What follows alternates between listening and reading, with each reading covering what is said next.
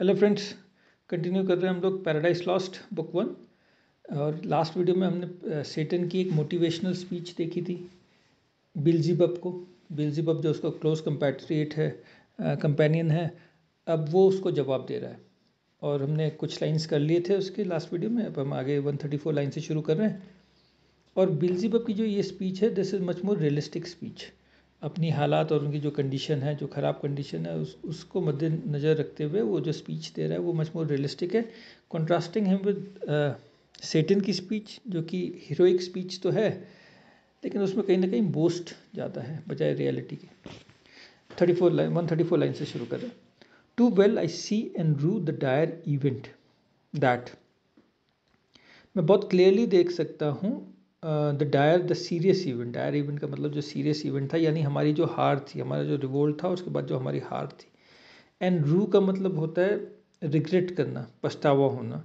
The dire event that with sad overthrow and foul defeat और जिसके वजह से हमें ओवर थ्रो कर दिया गया हेवन से एंड फाउल डिफीट का मतलब बहुत डिसग्रेसफुल डिफीट थी। ह्यूमिलिएटिंग डिफीट थी, शर्मनाक डिफीट जो हमें मिली है। हैड लॉस्ट अस हेवन और इस वजह से हमें हेवन को लॉस करना पड़ा। And all this mighty host in horrible destruction laid thus low और सिर्फ़ लड़ाई सेटन और बिल्जीबब ने नहीं कर थी, उसके साथ कई और एंजल्स थे। अनगिनत जो एंजल्स थे, उन्होंने भी फाइट किया था गॉड के अगेंस्ट तो वो सब अब यहाँ पे हेल में आ गए हैं और हेल में वो फेरी लेक में फायर की लेक में फ्लोट कर रहे हैं। तो उनको भी एक तरीके से वो बता रहा है कि दिस माइटी होस्ट ये जो एंजल्स हैं इन हॉरिबल डिस्ट्रक्शन लेट दस लो तो वो इस कंडीशन बेचारी कंडीशन में वो पड़े हुए हैं कि वो जल रहे हैं आग में। As far as gods in heavenly essences can perish और हम लोगों को उतना हार्म हुआ है पेरिश का मतलब डिस्ट्रॉय हुआ है हम लोग। जितने की गॉड हो सकते हैं या हेवनली एसेंस मतलब वो चीज़ जो हेवनली मटेरियल वगैरह की बनी हो, वो चीज़ जितनी डिस्ट्रॉय हो सकती है। क्योंकि हम लोग भी अल्टीमेटली एक टाइम पे एंजल ही थे। तो एंजल जो है वो मर मर तो नहीं सकते हैं। तो हम हम भी मरेंगे तो नहीं, मरे तो नहीं हैं। लेकिन एक लिमिट तक ही हम लोगों को हार्म हुआ है, उससे ज़्यादा नहीं। For the mind and spirit remains invincible और हमारा बॉडी में थोड़ा सा ही हार्म हुआ है, लेकिन हमारी माइंड जो है और हमारी स्पिरिट जो है, अंदर से कुछ कर गुजरने की जो स्पिरिट है, वो अभी भी इन्विंसिबल है। हमने हार नहीं मानी है। एंड विगर सून रिटर्न्स और जो स्ट्रेंथ है, वो तो जल्दी वापस आ ही जाएगी। अभी तो हम थके हुए हैं, हारे हुए हैं, दर्द है, चोट लगी है, लेकिन हमारी जो स्ट्रेंथ है, वो सून जल्दी वापस आ जाएगी। तो ऑल अवर ग्लोरी एक्सटेंट हाँ हमारी जो ग्लोरी थी, हमारी जो शान थी, वो तो चली गई है। And happy state here swallowed up in endless misery और जो हम हेवन में हैप्पी हैप्पी स्टेट में थे, वो यहाँ पे।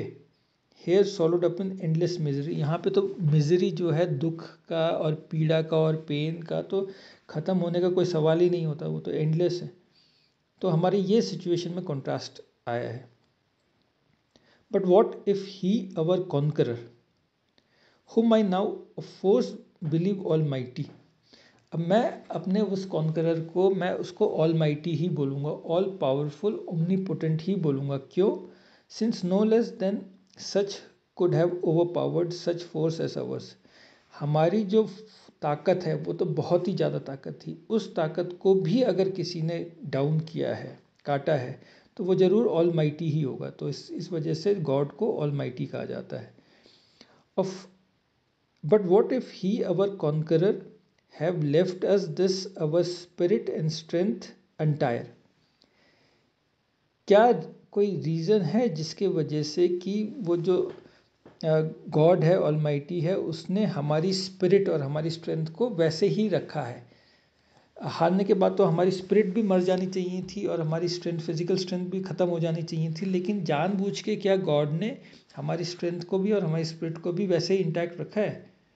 तो वो एक डाउट कास्ट कर रहा है और एक रियलिटी की बात कर रहा है Beelzebub strongly to suffer and support our pains तो जब हमारे अंदर स्पिरिट रहेगी एक जैसे स्पिरिट है रिवेंज लेने की स्पिरिट तो हम कोशिश करेंगे वो रिवेंज लेने की। गॉड फिर हमें हराएगा और फिर हमें पेन होगा। तो ये जानबूझ के गॉड ने हमारे अंदर स्पिरिट रखी हुई है। स्ट्रेंथ भी जानबूझ के रखी है गॉड ने। जब हमारे अंदर स्ट्रेंथ होगी, तभी हम पेन भी फील कर सकते हैं। मेंटल पेन भी फील कर सकते हैं और फ़िज़िकल जो आग में जल रहे हैं, वो पेन भी फील कर सकते हैं। अगर हमारी पूरी स्ट्रेंथ खत्म होगी तो हमें पेन भी फील नहीं होगा। तो गॉड का एक प्लान क्या गॉड का एक प्लान है? जिसके तहत उसने हमारी स्पिरिट को भी और स्ट्रेंथ को भी हमें इंटैक्ट करके रखा हुआ है।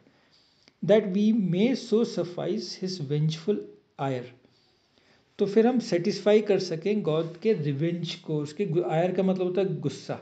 वेंजफुल मतलब एक तरीके से एंगर वेंजफुल का मतलब रिवेंज लेना हुआ एक तरीके से। आयर का मतलब होता है गुस्सा एंगर तो उसके कोई गुस्से, अपने गुस्से को सेटिस्फाई करने के लिए ही उसने हमारी स्ट्रेंथ को भी इंटैक्ट रखा हुआ है।